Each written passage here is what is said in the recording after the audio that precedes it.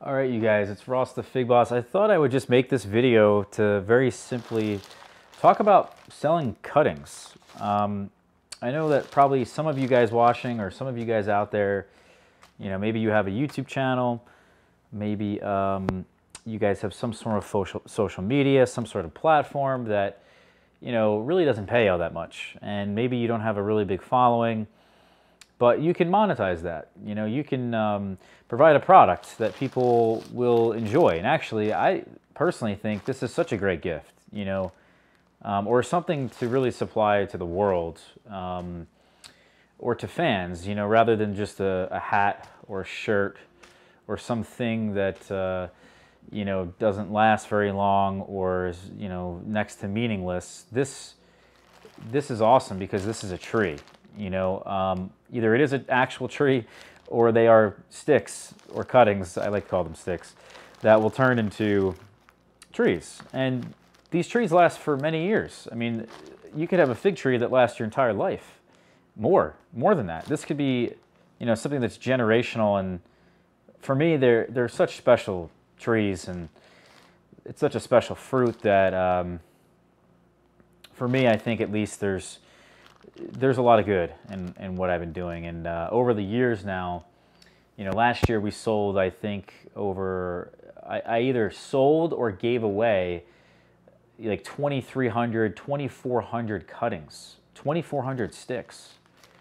That's a lot. That's a lot of wood.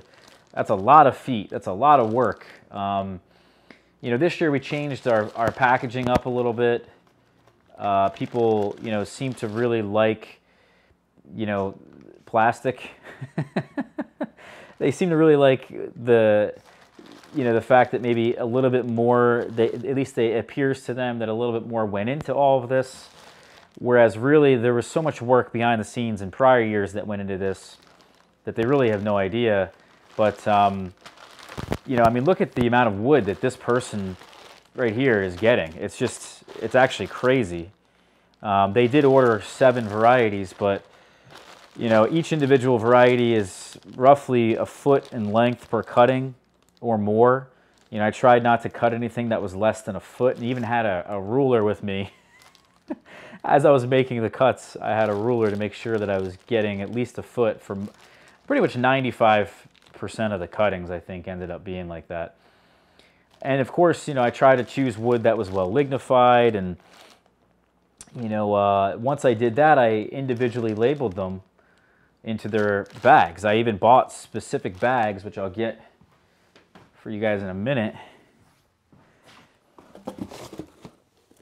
So I ended up going on like Vistaprint and ordering, you know, not just, well, bags I got separately, but I even went on Vistaprint and print out, printed out these mailers. You know, I got the, you know, all this stuff kind of adds up to give you, or at least the buyer, uh, some illusion of value, you know. Um, and I got these bags here from some packaging, plastic packaging website. These are the thinner ones that, you know, are like, uh, I don't know, 14 inches in length. And then, I don't know, six, six, six, yeah, six inches wide. They have the, the tops on them. Then I also got from Uline, you know, these larger bags, which are you know, above and beyond a large plastic bag, what you would, what most people would probably need. And then of course I throw this in the larger bag. Yeah, this came from a company called the Packaging Company. These um, individual bags, and I ordered a thousand of each. You know, because it's not like I'm only going to be doing this for a short time. I imagine, you know, there's a lot of orders, and uh, you know, you order the stuff in bulk, and it ends up coming out to you cheaper. So, you know, I think it really uh, made things look nice, and people appreciated it this year uh, more so, I think, than last and, or prior years. You know, um, the quality of the cuttings are, you know, as best as I can do, as best as Mother Nature allows. Some of the cuttings, and maybe if you're going to sell cuttings in the future, I think uh, you will always have some defects. You will always have something that somebody points out that do they don't like. You know, one thing I think is pests.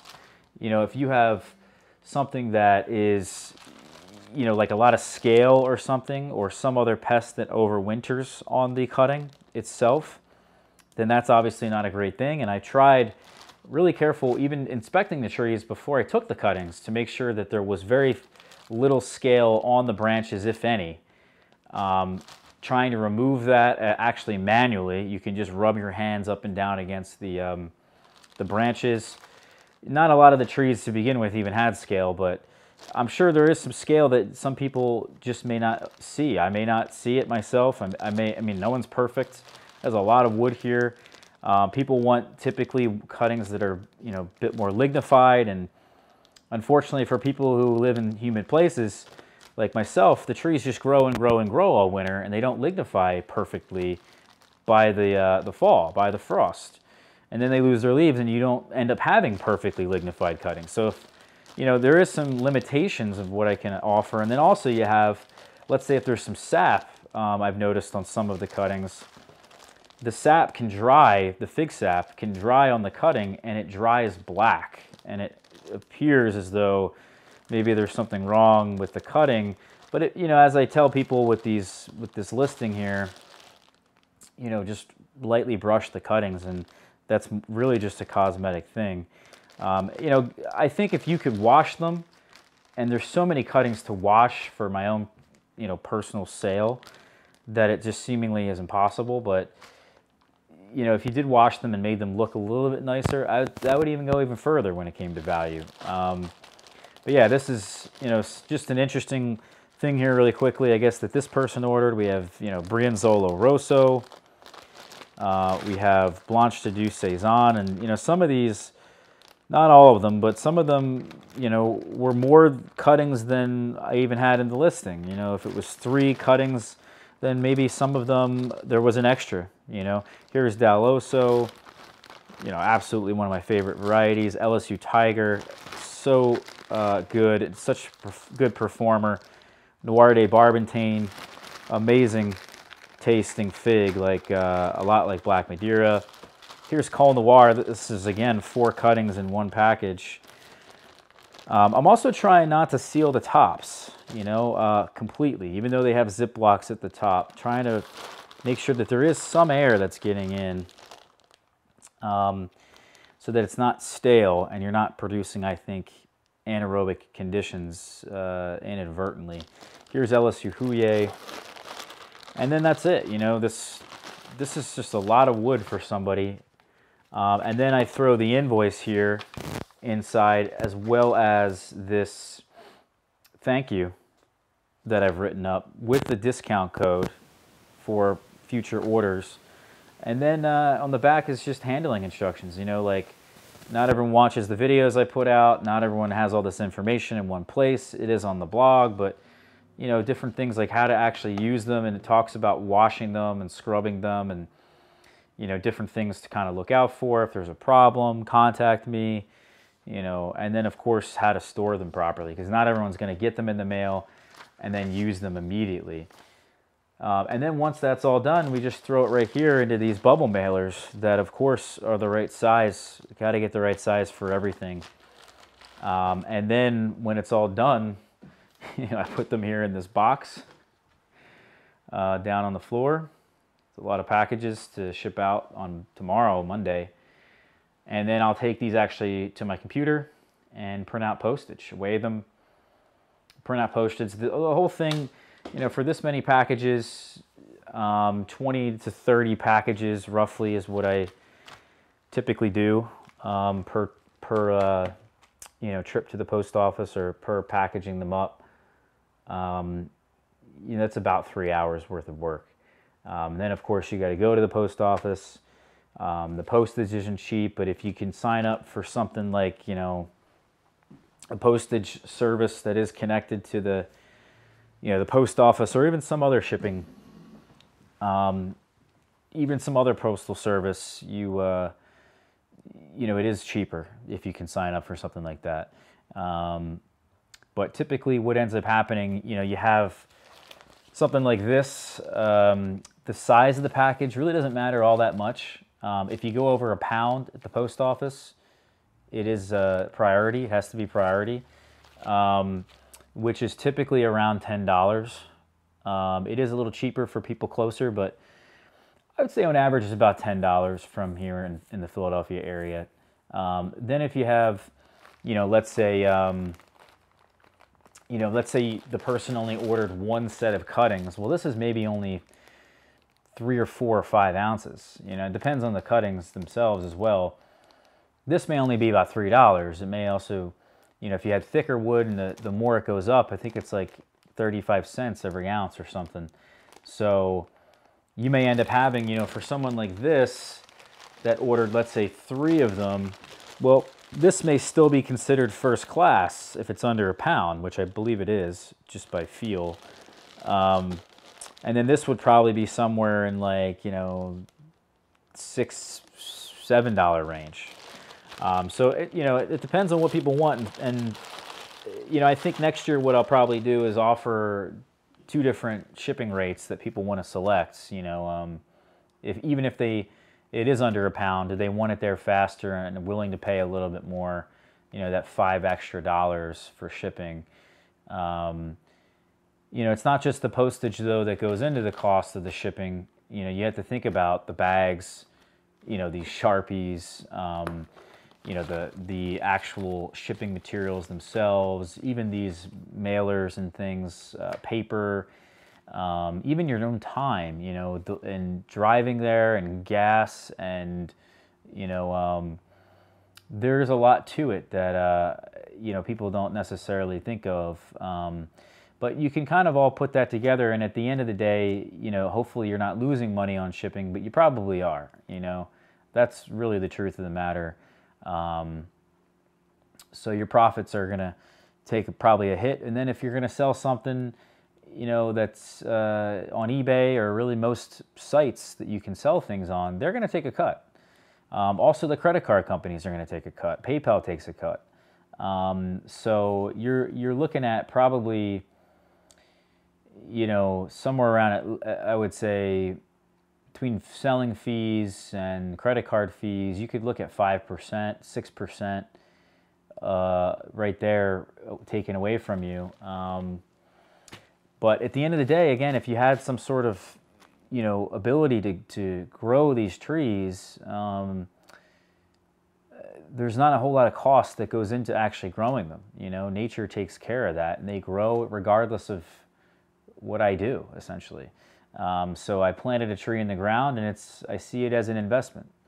You know, not every tree is going to be an investment.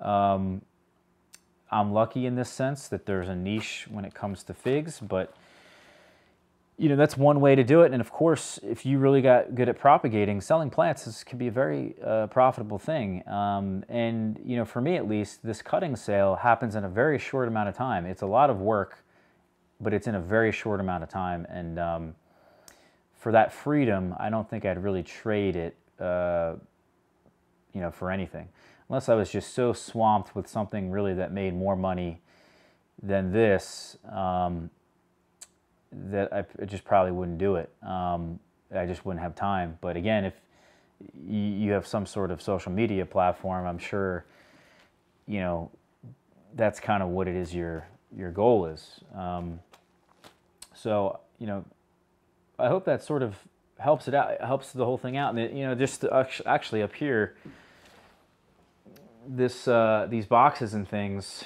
I have them sort of separated um, by their names, and then of course um, alphabetically, so that I can find them easily. Because there's so many varieties, you know, hundreds of varieties that I'm dealing with here, and that I'm selling. So it just it really does make it a lot easier if uh, you can be organized and make this process just so much quicker. Um, yeah, so that that's a big deal. But I do want to thank, you know, all the people watching, obviously, who aren't thinking about doing this, um, or not really even just interested in my process of a glimpse of what goes on into all this. Um, and you guys are just fans. You know, thank you to all those people out there uh, watching who, um, you know, really for the last two years, it's been mostly that we've we've been selling cuttings. Um, seriously. Um, I think three years ago, we weren't really serious at all, and we sold very few, or I think at one year I sold them in packs for very affordable prices. Um, that may have been four years ago. I'm not sure, but whatever I think is left over, and by the way, I want to mention this whatever is left over, um, I will either root myself, but I think I will do a giveaway. And I may try to raise some money um, to actually donate, um, or I may just give it away and make some sort of donation myself. I probably will match. Maybe I'll do some sort of matching thing um, for whatever it goes for. So um, yeah, that's that's it, guys. I, I really do want to say thank you and happy New Year, everybody out there, because it is the new year now. Um, and to be honest with you, um, you know, I think it's, it's, and I've been saying this for a while, it's just more important now than ever to really, you know, value the people around you and, um, uh, you know, really, um, you know, put a lot of effort into your family, your friends, and you know, um, the people who love you in your life because it's it's important. You know, um, not that I lost anybody, but I know people have, and um, beyond that, this has just I think been a reminder to most people that um, or at least a easy way to wake up and smell the coffee. You know that um, your life is short, and that we need to really um, put an emphasis on the people around us because even beyond that, even you know just regarding the virus, that's just how we should be. You know, we should be um, respecting.